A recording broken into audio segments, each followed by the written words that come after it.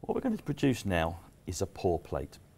We're going to take some of this culture and we're going to put five drops in the bottom of this sterile petri dish. Then what we're going to do is we're going to take some of this molten nutrient agar that we've melted earlier and we've got it sitting happily in a water bath at 50 degrees Celsius. Okay. We'll pour that on top of the culture.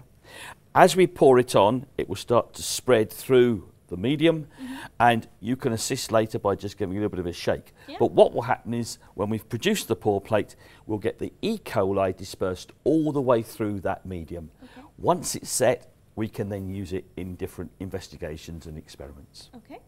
Right. So we get started. Um, I guess we'll have the blue flame on again. Yeah, we'll Yeah. turn it onto the blue flame, that's good. Excellent. And I have my Pasteur pets, Pets, again. good.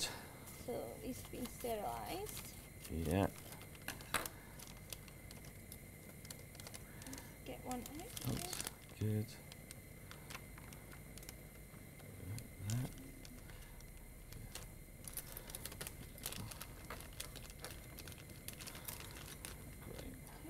That's great.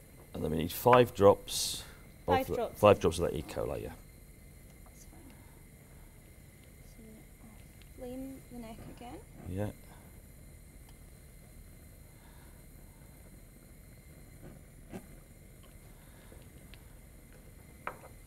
And just into the middle there. Yeah, just into the middle. Two, three, four, five.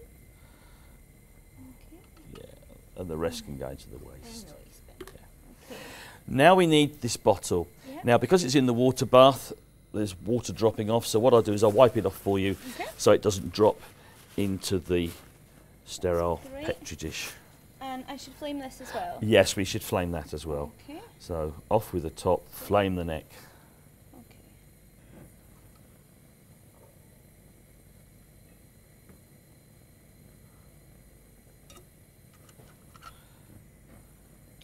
Go. And I should just give just it a little just give it a bit of a shake, yes. So gently mix it.